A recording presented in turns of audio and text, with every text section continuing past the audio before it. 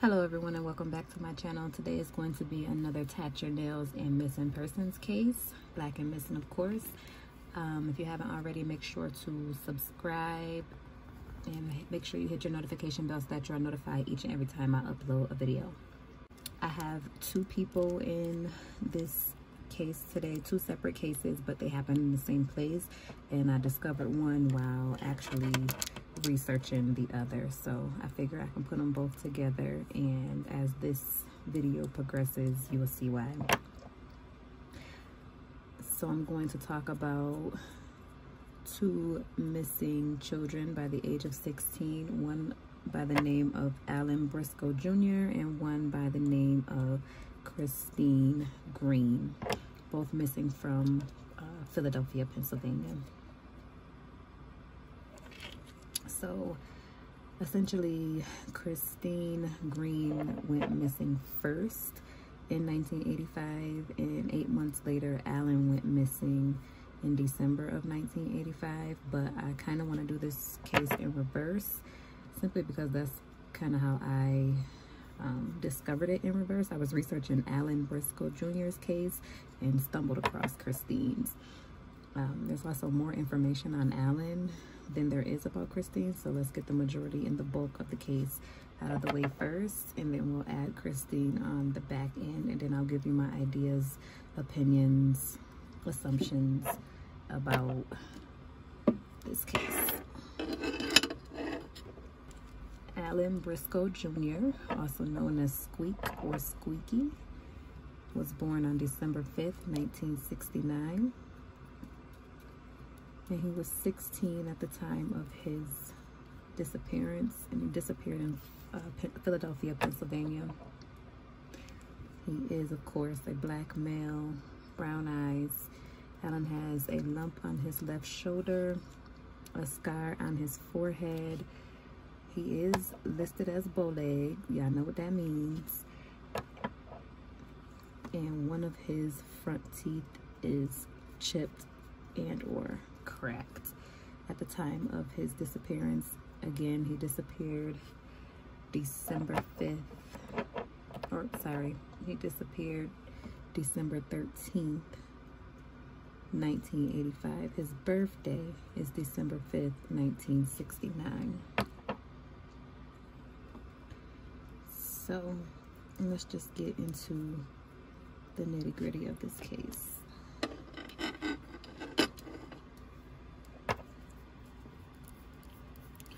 Allen Briscoe Jr.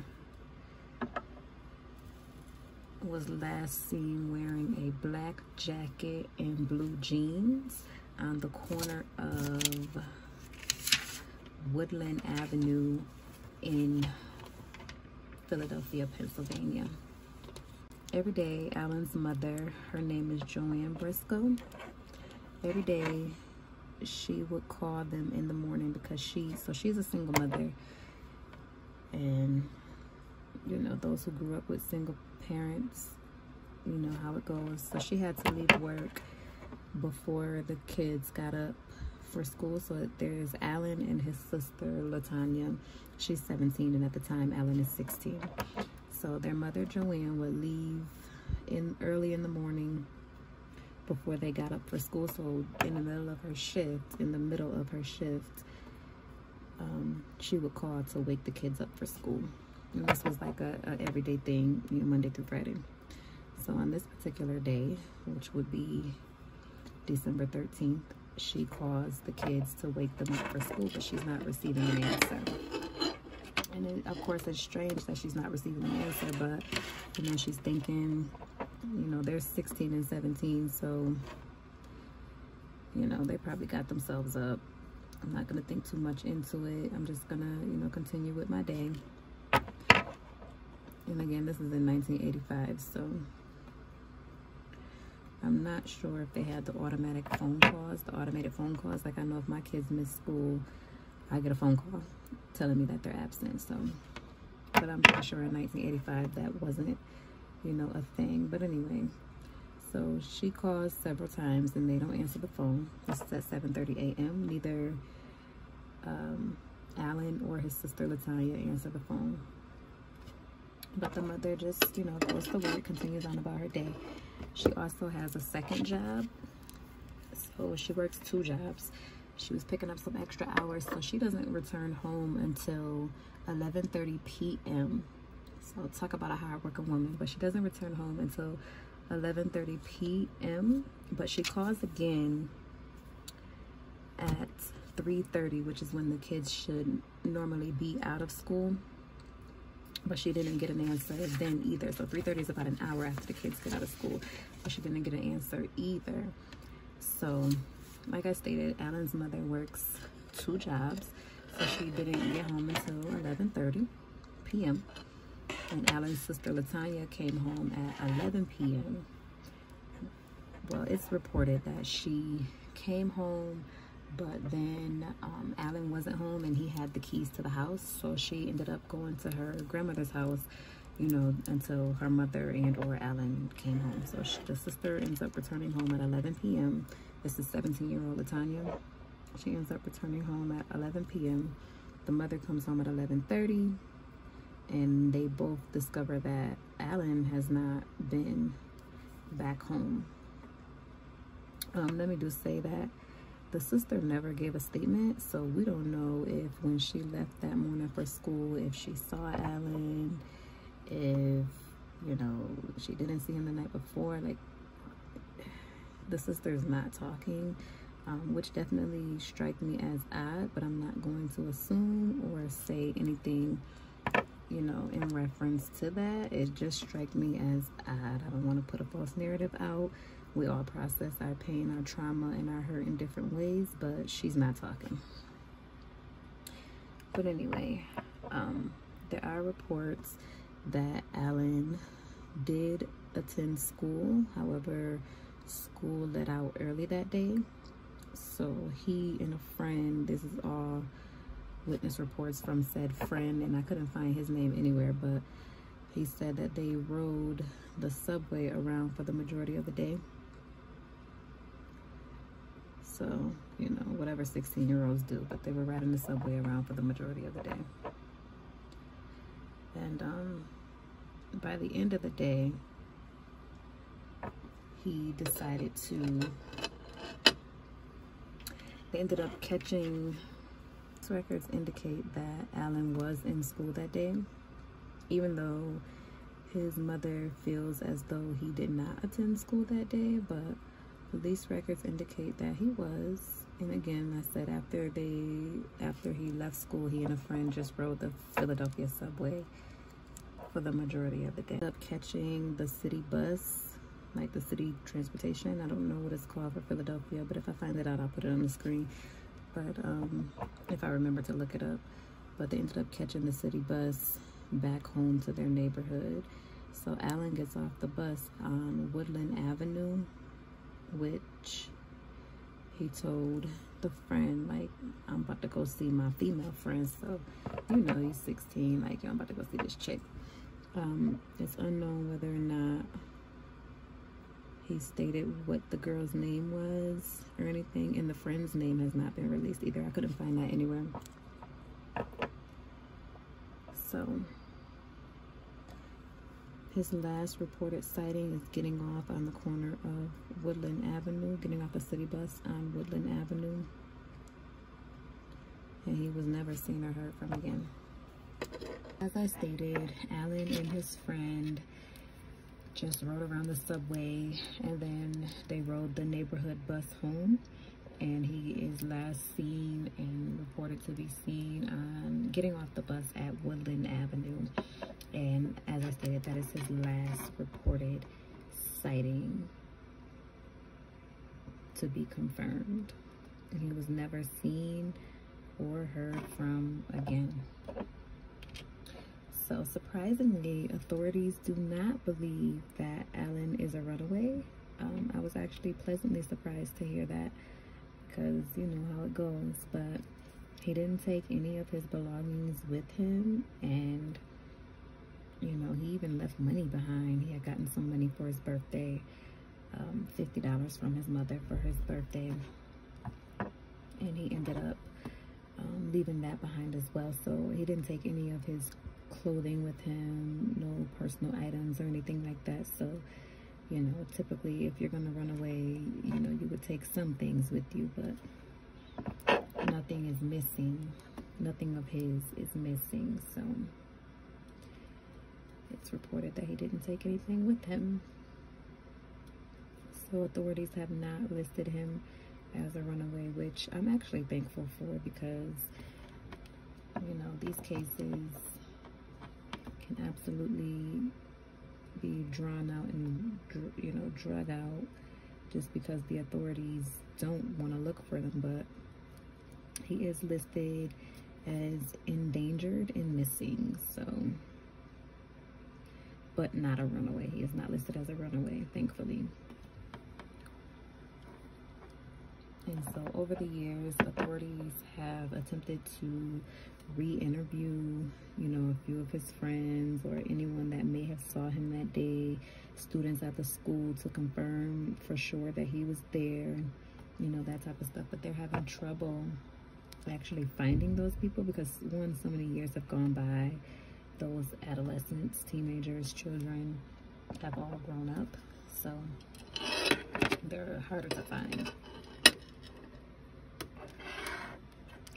So they're harder to find. So this is how we end up at Christine Green's case. So Christine, oh, let me go back. So the high school that Allen Briscoe Jr. attended was Bartram High School. He was a student there at Bartram High School. It says he was a good student you know, no one had anything negative to say about him really. But that is the high school that he attended. I'm not sure if I stated that before, but in Philadelphia, Pennsylvania, Bartram High School in Philadelphia, Pennsylvania. So this is how these two missing persons are tied together. So, uh, Allen Barstrom Jr. was last seen on December 13th, 1985. After he attended school at Bartram High School and then rode the subway and then caught the city bus home well headed home but ended up getting off of his off of the city bus on Woodland Avenue and it is reported that he was headed to a female friend's home at 16 y'all know what that's like so i'm about to go see me a little boo. So uh, i will post allen's picture on the screen right here. And I will say that he was last seen wearing a black jacket and blue jeans um, if I can find the photo enhanced composite of what he would look like today, I will absolutely post that to the screen as well. Us to Christine Green, also known as Tina or Dinky.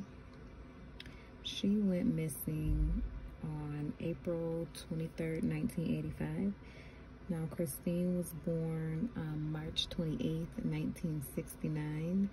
So she was 16 at the time of her disappearance, same as Allen. He was also 16 at the time of his at the time of his disappearance. What links these two cases together is that they both went to Bartram High School. And so whenever you research one case, the other the other's name comes up. So as I was researching Allen's case, I kept coming across Christine. So that's why I was like, okay, you know what? They're missing from the same area, roughly around the same time. Both went to the same school and they were both the same age. So let me just put them both together in one video. So anyway, on April 23rd, 1985, it was just a regular day for Christine. She got up, got ready for school and caught the bus. Now, she catches the bus on Woodland Ave. And I know that sounds familiar because Woodland Ave was the last place that Bartram was uh, seen. Bartram. Bartram is the high school. Woodland Ave is the last place that Allen Briscoe was seen getting off the bus. And Christine gets on the bus at Woodland Avenue. But again, this was eight months prior. So, but anyway, um, Christine, on the other hand, is also listed as an endangered runaway. So she is listed as a runaway, whereas Allen is not listed as a runaway. But it says she may have been pregnant at the time of her disappearance, which may be, this is speculation, which may be why she ran away, so to speak. Her parents, of course, don't agree with that and her family, of course, doesn't agree with that. But um,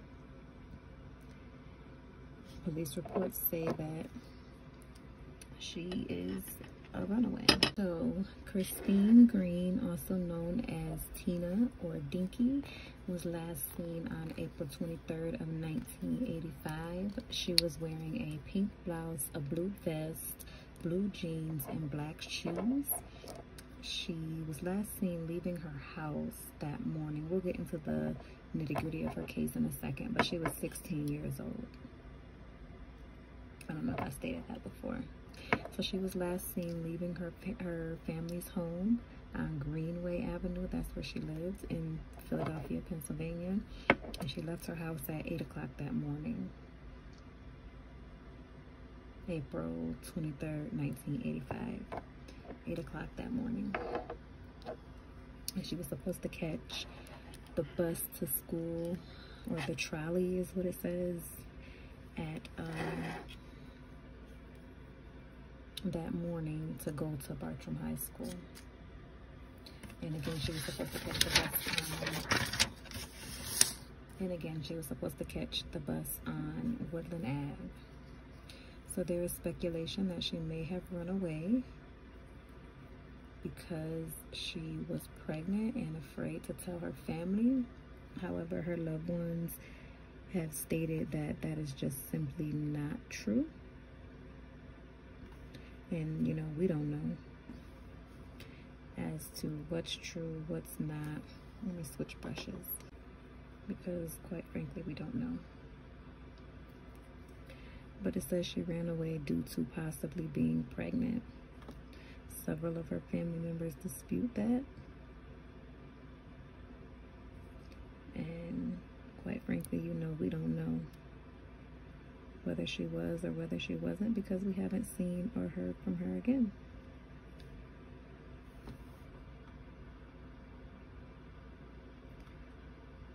So the police do have her listed as a runaway, an endangered runaway, but she is listed as a runaway and it says that her loved one stated that she wasn't the type to disappear, go missing, that she always let someone know like where she was going, where she was going to be. That it's completely out of character for her to just disappear, to just go missing without a trace. Like it's not in her character. Forgive me for being out of frame. I can't see and I'm trying to get this design right. But Christine has seven siblings. She is one of eight. I don't know where she falls in that line, but she's one of eight. And it's reported that she had a great relationship with every single one of them. So she didn't go missing because she was tired of being a big sister or a little sister or a middle sister or, you know, whatever. Not to mention at the time that she went missing, her mother was bedridden and her mother actually ended up passing away um, six months after her disappearance. So I believe that if she ran away, she would have come back by now, you know? especially with the passing of her mother. It says uh, reports say that Christine did not have a habit of going missing. She did not have a habit of being absent from school. She was a good student, made good grades, you know, a pleasure to have in class, all that, you know, cliche stuff that people say. Let me take that back. But she was a pleasure to have in class. She was listed as a good student, and that, that's a quote, listed as a good student. But I also want to read to you a quote that I found while I was um, researching this case. So I'm researching this case. Well, let me go back. So essentially, Christine was never seen or heard from again. There's not a lot of reports. It doesn't say anyone saw her, you know, people who ride the trolley or conduct the trolley or you know, whatever. I'm from upstate New York. We don't have trolleys. We have buses. We don't have subways. We don't have so I'm not sure exactly how that goes, but no one has seen her since she left her home that morning. We only know that she was reportedly headed to school to get, and to get to school, she had to get on the trolley at Woodland Ave.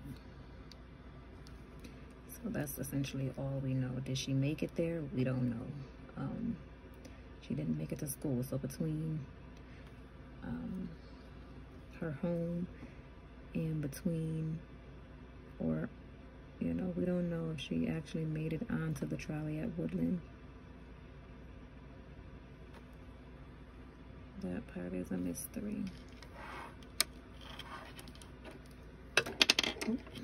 But I wanted to read this quote, one of her friends.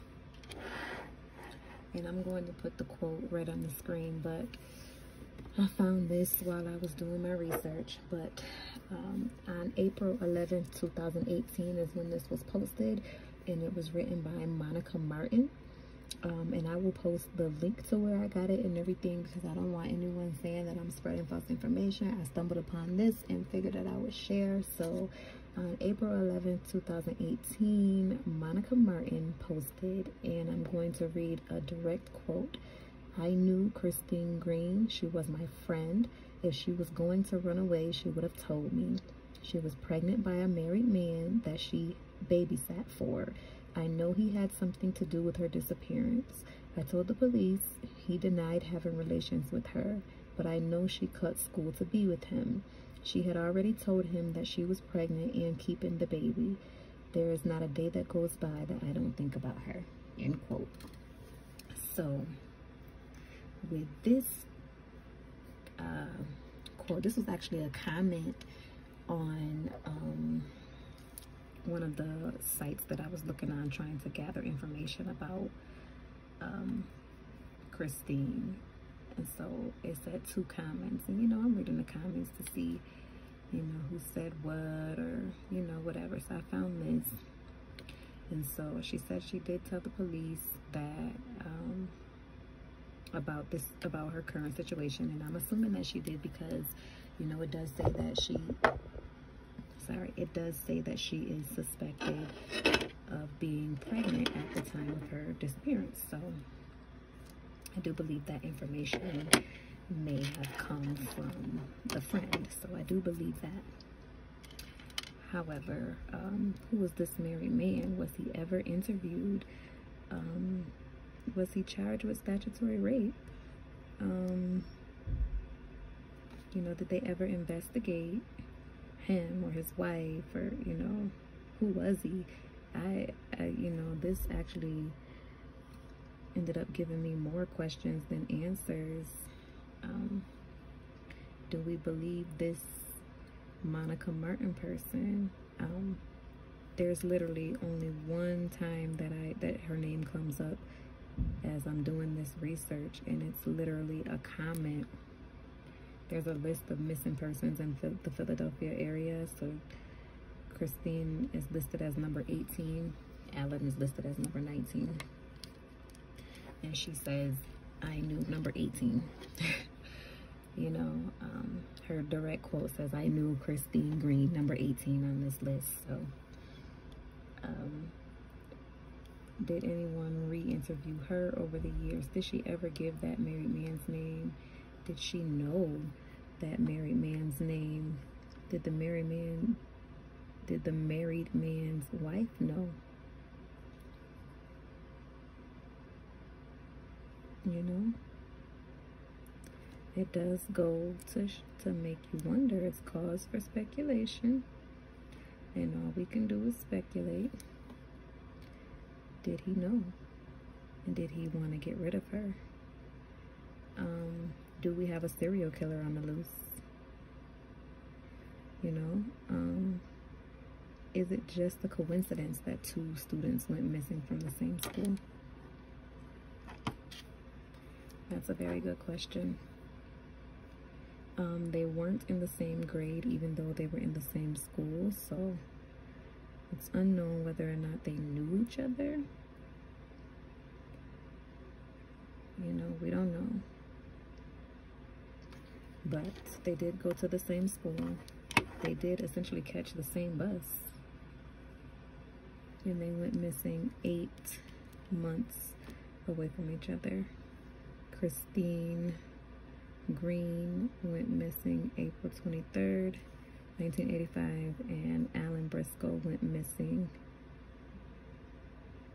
in December 13th, December 13th, 1985.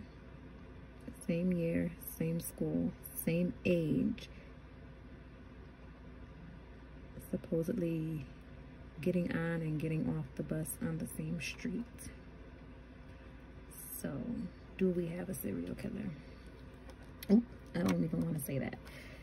Do we? Because we don't know if they're dead or alive. But do we have a serial offender on our hands? Um, and I kind of feel like if Christine had not been listed as a runaway, maybe, assuming these are related, maybe Allen would not have gone missing because the police would have been looking around Woodland Avenue, you know. So it makes you wonder. Definitely makes you wonder, but I know that I have been young and pregnant. I got pregnant at 17 years old. Um, I never considered running away.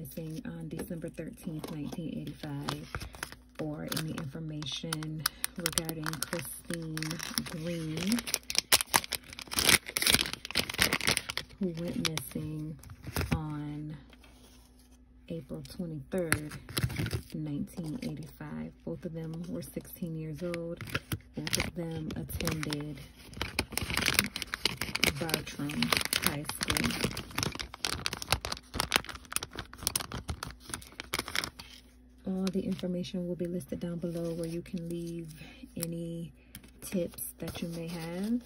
And so essentially I'm just gonna box up these nails. Okay, this set is all set and ready to go. I have everything boxed up, bagged up right here.